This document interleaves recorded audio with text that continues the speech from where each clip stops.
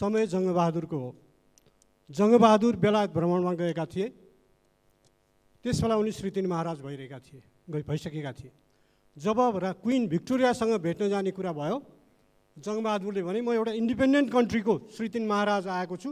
त्यस कारणले मेरो सलामीमा मैले क्विन भिक्टोरियालाई भेट्न मेरो सवारी चल्दाखेरि एक्काइस तोप पड्काइनुपर्छ। यो के कुरा भन्छ यसले भनेर ब्रिटिसहरूले वास्ता गरेनन्।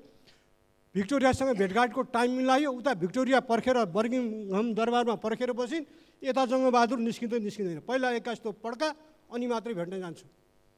केही नलागेपछि ब्रिटिसहरूले तोप पड्काएर अनि जङ्गबहादुरको सवारी चलायो। पहिलो घटना। दोस्रो घटना राणाकालकै हो। त्यसबेला काठमाडौँमा ब्रिटिस रेजिडेन्स बाहेक कुनै पनि विदेशीको राजदूतावास थिएन। तर ब्रिटिस रेजिडेन्सले चल चल माने चल चलखेल गर्नको लागि के गर्यो भन्दाखेरि म जहाँ जाँदाखेरि तपाईँको सुरक्षा गार्ड हुन्छ नेपालको प्रहरीहरू मसँग हुन्छन्। मैले एक्लै त घुमफिर गर्न पाउनु पऱ्यो भनेर पटक पटक कराएपछि ब्रिट राणाहरूको चलखेल गर्न दिने मुडमा त थिएनन्। श्रीदिन चन्द्र सायद चन्द्र सम्झेको घटना हो। नदिएपछि के गर्यो भन्दा साह्रै कराएपछि एकचोटि ल त भयो ल जानुहोस् तपाईँ घुम्नु स्वतन्त्र काठमाडौँमा भने। विभिन्न ठाउँमा गएर उसले चलखेल गर्न थालेपछि एक दिन राणाहरूको मिटिङ बस्यो। पुगज दखज सब जर्नलहरूको र त्यसपछि एउटा घटना घट्यो। घट्यो के भन्दाखेरि ब्रिटिस रेजिडेन्स साँझमा घुम्न निस्केको बेलामा मुखमा चाहिँ कप बानी कपडाले छोपेका दुई चारजना गुन्डाहरूले हातपात गरे। ब्रिटिस रेजिडेन्सलाई घाउचोट केही पनि लाएन त्यो घटना श्रीतिन महाराजमा पुग्यो। त्यो वास्तवमा घटाइएको घटना थियो। साह्रै यसले चलखेल गर्न थाल्यो। अब नदिउँ अप्ठ्यारो छ दुई पक्षीय सम्बन्धमा तलमाथि पर्ला भन्ने डर। दिउँ भने चाहिँ चाहिनेभन्दा बढ्दा भेटघाट गर्छ यो राजदूतले।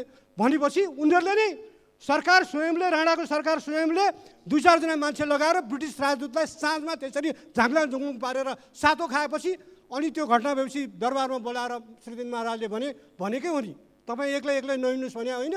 ल अबदेखि सुरक्षा गार्ड लिएर मात्र जाने भनेर फेरि नेपाली सुरक्षा संयन्त्र सुरक्षा प्रहरीहरू ब्रिटिस पछि लागे। मैले यो किन भने भन्दाखेरि त्यो बेला पनि हाम्रा पुर्खाहरू आफ्नो देशको स्वतन्त्रता आफ्नो देशको गरिमा आफ्नो राष्ट्रिय स्वाभिमान र आफ्नो राष्ट्रिय मर्यादाको लागि त्यो अँध्यारो कालमा पनि यति कन्सस थिए।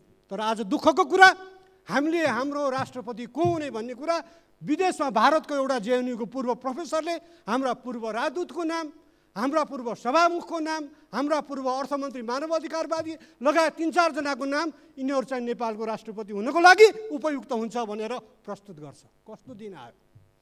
हाम्रो राजदूत मन्त्री स्तरको राजदूत हुनुहुन्थ्यो निलाम्बरजी।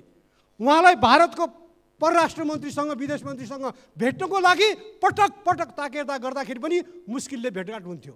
तर राष्ट्रपतिको चुनाव अगाडि यहाँ भारतीय विदेश सचिव आउँछन् र उनी प्रधानमन्त्री परराष्ट्र मन्त्री परराष्ट्र सचिव भेटघाट गर्न आएको परराष्ट्र सचिवलाई निम्ता दिन आएको एउटा प्रधानमन्त्रीलाई भ्रमणको त्यति त पुग्थ्यो नि। पूर्व प्रधानमन्त्री राष्ट्रपति सबैलाई हामी भेटाउँछौँ। म परराष्ट्र मन्त्रालयलाई आग्रह गर्न चाहन्छु यो राष्ट्रिय सम्मानको कुरा हो। हाम्रो पर हाम्रो विदेश सचिव जाँदा के यही यही ढङ्गको ट्रिट भारतमा पाउँछ। पाउँदैन भने नेपालले यो दक्षिण एसियाको आजसम्म कसैको गुलामी नभोगेको आजसम्म स्वतन्त्र रहेको कहिले पनि पराधीन नभएको देश हो। यो देशको राष्ट्रपतिका नाम विदेशीको ट्विटमा हेर्नुपर्ने।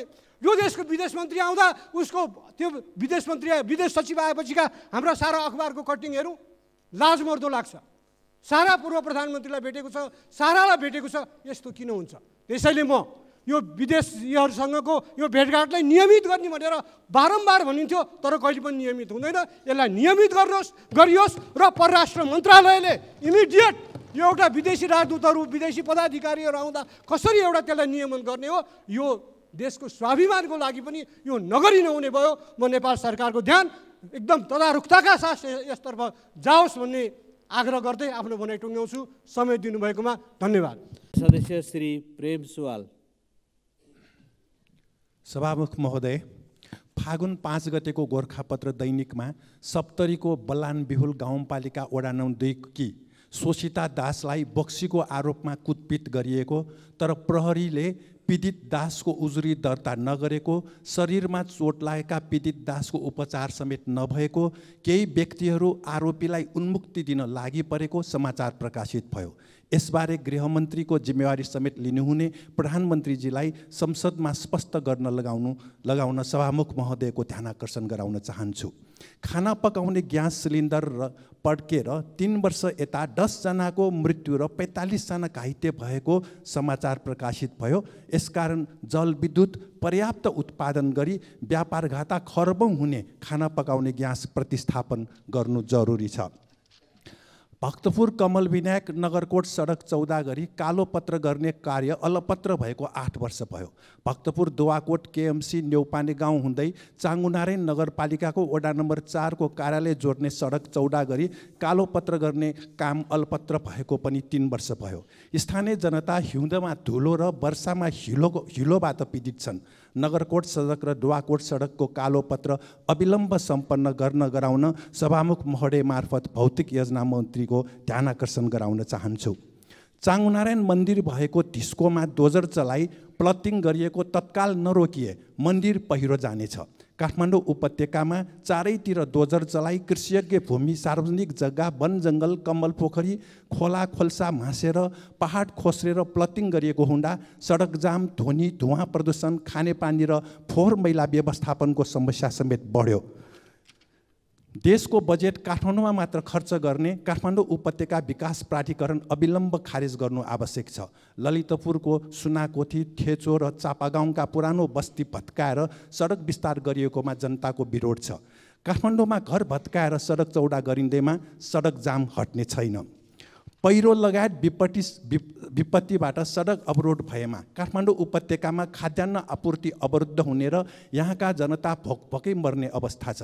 दुई हजार बहत्तर सालको जस्तो ठुलो भूकम्प काठमाडौँमा गएमा भाग्ने ठाउँ नभएर यहाँका लाखौँ जनताको मृत्यु हुने अवस्था छ। यसकारण प्रधानमन्त्री मन्त्री सांसद र सरकारका उच्च अधिकारीहरूले आफ्नो निर्वाचन क्षेत्रमा बजार विकास गरी स्थानीय जनतासँगै घर बनाएर बस्नुपर्ने र काठमाडौँ उपत्यकामा घर जग्गा किन्न नपाउने र देशको सन्तुलित विकास गर्ने कानुन बनाउनु जरुरी छ। धन्यवाद। सभामुख महोदय म समसामयिक विषय उठान गर्दैछु। दुई हजार अठार सालमा निजी सम्पत्तिलाई अधिग्रहण गरेर अनाथ बालबालिकाको लागि हेरचाह गर्ने भनेर नेपाल बाल सङ्गठनलाई जिम्मा दिइयो। तर अहिले बाल मन्दिरको एकल स्वामित्व रहेको अठाइस रोपनी जग्गा र नेपाल ललित कलाको संयुक्त स्वामित्वमा रहेको उनातिस रोपनी जग्गा जम्मा जम्मी गरेर सन्ताउन्न रोपनी जग्गा कसले भोगचलन गरिरहेको छ? कसको हितको लागि प्रयोग भइरहेको छ? अनाथ बालबालिका अहिले तपाईँले गएर हेर्नु हुन्छ भने त्यहाँ भर्खर जन्मेको बच्चाहरूलाई दुध खुवाउन इनफ दुध पनि छैन। त्यो त्यो त्यस्तो प्राइम ठाउँमा भएको जग्गालाई कौडीको भाउमा बहालमा लगाएर व्यवसाय चलाउने कहिले कहिलेका व्यक्तित्व र व्यवसाय घरनाहरू छन्। यो सङ्गठनको बोर्डमा आफ्नो मान्छे छिराउने पहिला त्यसपछि त्यो बोर्ड कब्जा गर्ने र सीमित मान्छेहरूको लागि त्यो बोर्डले काम गर्ने। हामीले कहिलेसम्म अनदेखा गर्छौँ? कतिचोटि आइसक्यो यो पत्र पत्रिकामा त्यसकारण बाल मन्दिर सम् बाल मन्दिर सम्बन्धित उच्च स्तरीय जाँचबुझ आयोग पनि गठन भएको रहेछ। त्यस त्यो आयोगले पदाधिकारी लगायत संलग्न कानुनी दायरामा ल्याउने सुझाव पनि दिएको रहेछ। त्यो प्रतिवेदन प्रतिवेदन हामीले कहिले सार्वजनिक गर्छौँ र कति समयसम्म हामीले बालबालिकाको लागि दैवले बाउ आमा खोसे हामीले हेर्नुपर्ने बालबालिकालाई हामीले कहिलेसम्म अनदेखा गरेर उहाँहरूलाई अनदेखा नै राख्छौँ? मैले यति उठाएँ सभामुख महोदय। मान्य सदस्य श्री